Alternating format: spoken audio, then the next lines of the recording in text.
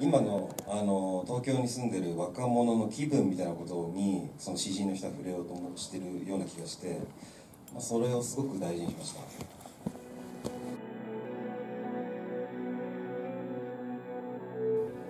まず本当に最初にイメージが出てきたのは男ですね、えー、半分しか世界を見ることができない男っていうイメージが出てきました。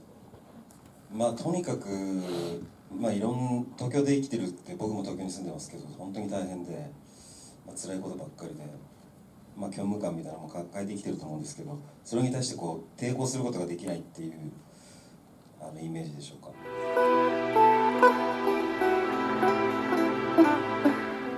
Well, uh, this was the first time for me to do a leading role in a movie. And, oh, sorry. Um, like this. Okay, sorry. Um, and I knew so little about movie making and acting, but um, I had chance to meet Mr. Aishi, and it was like audition. Yes. 僕はそうですねあのこれで石井さんの作品に出るのは、えー、4度目になります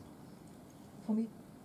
えっとまあ2人でお酒を飲んでる時にこういう作品を次やろうと思ってるっていう話を聞いてっていう感じです。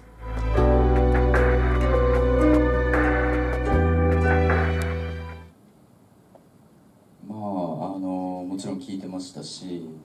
まあそうですね、まあ、しばらくこうやってましたね。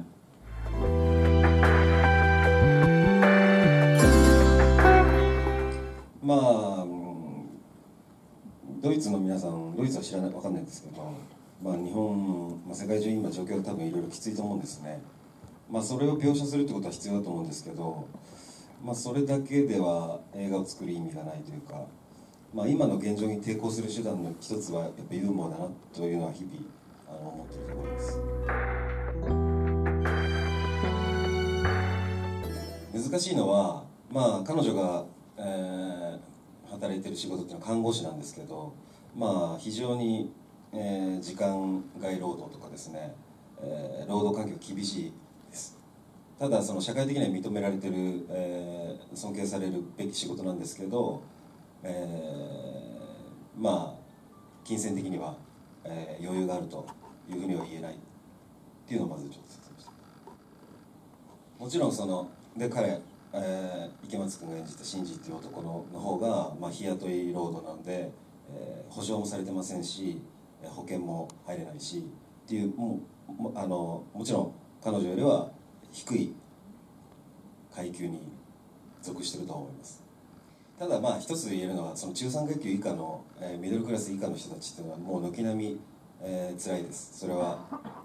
あらゆる意味で、えー、と多分今も日本の社会の労働者中産階級以下の人たちっていうのはかなり疲弊していると僕は思ってます。そうじゃない国ってもうないですよね多分。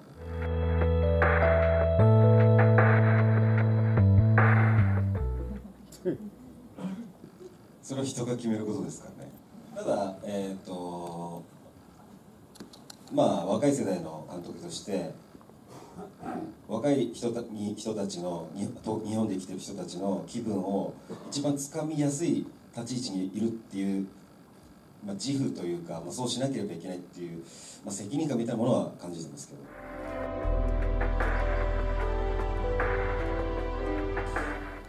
ほぼゼロじゃないですかね。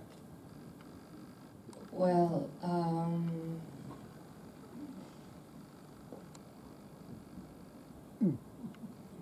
I I haven't trained in acting, and this was almost the first time for me to do movie. So I just had to throw myself into it. So maybe it's in a way kind of improvisation, but um, it was very difficult and challenging. But it was good experience.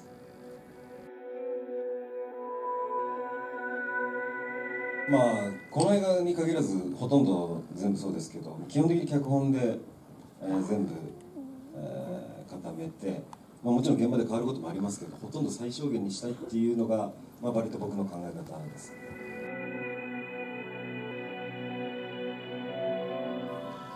いやもう全くその通りであの障害障害要するに目が見えない人っていう、えー、ニュアンスを入れたつもりはなくてですね、まあ、特に、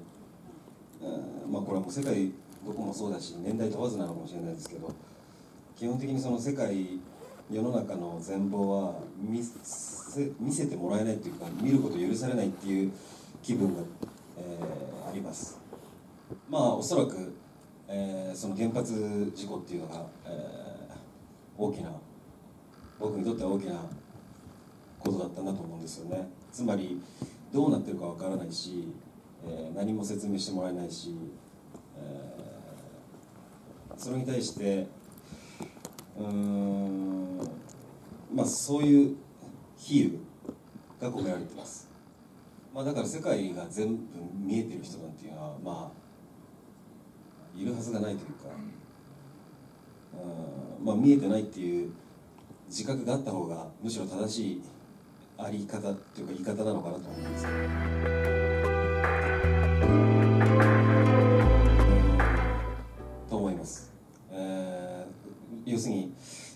葉を変えると、まあ、純粋に、えー、正直に正しく生きようとするってことは、えー、まあ非常に難しいと僕は思います。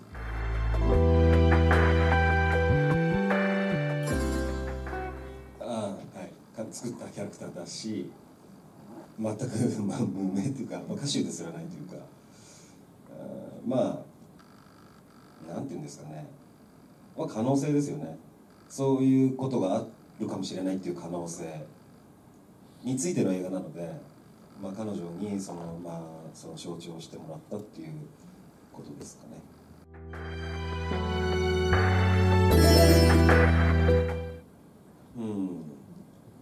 喜んだというよりは驚いたの方が近いですかね、うん、ななんかこう可能性を見いだせたというかうんそういう成功がもしかしたらありえるのかもしれないっていうふうに2人が、まあ、理解したっていうかっていうニュアンスですかね僕の思いとしては、まあ、もちろんどう解釈していただいても構いません、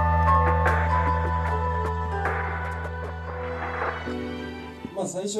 まあ、アニメーション2つあるんですけど最初に関しては、えー、彼女女の人の、まあ、主観的な表現ですねで2つ目に関しては割ともう少しえっ、ー、ともう少し客観的なニュアンスで、えー、入れたつもりです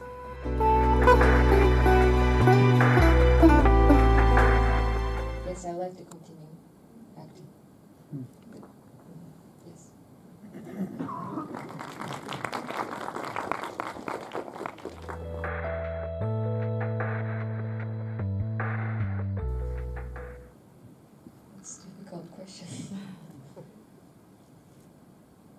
Right now I just want to be a better actor.